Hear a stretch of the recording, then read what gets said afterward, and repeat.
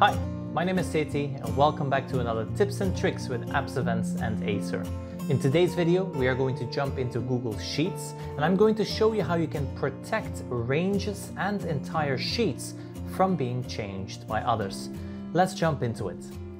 Now here I'm in my Google Sheet and I have some sample data.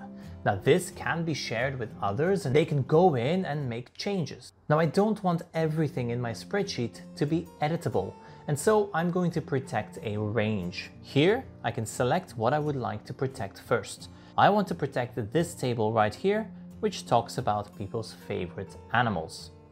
Now that I've selected this range, I can protect it. So at the top, I'm going to select data and then I click on protect sheet and ranges. Now because I've selected my table first, automatically you can see range is selected and it's selected the correct sheet and the correct range.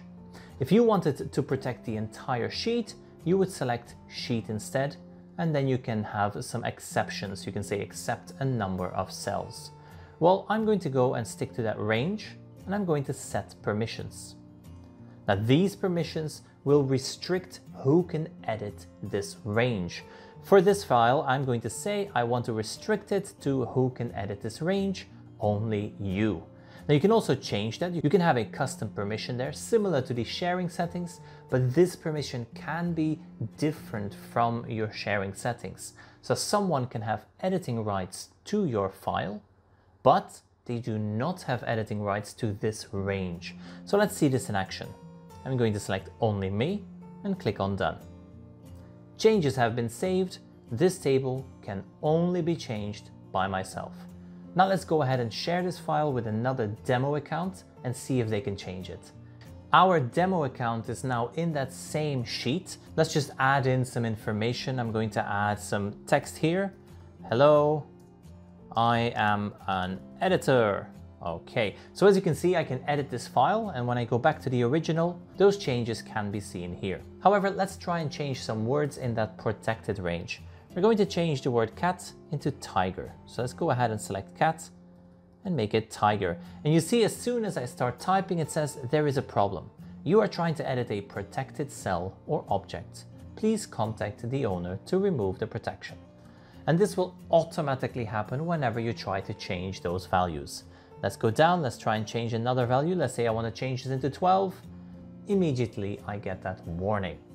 Okay, let's say that I do want them to be able to edit this range. Well, I can go back to the original file and I can change the protection. Say that you have a file shared with five teachers and one other teacher needs to be able to change the data. All the other teachers need to be able to change the rest of that spreadsheet, but not that range. Well, you can do that as well.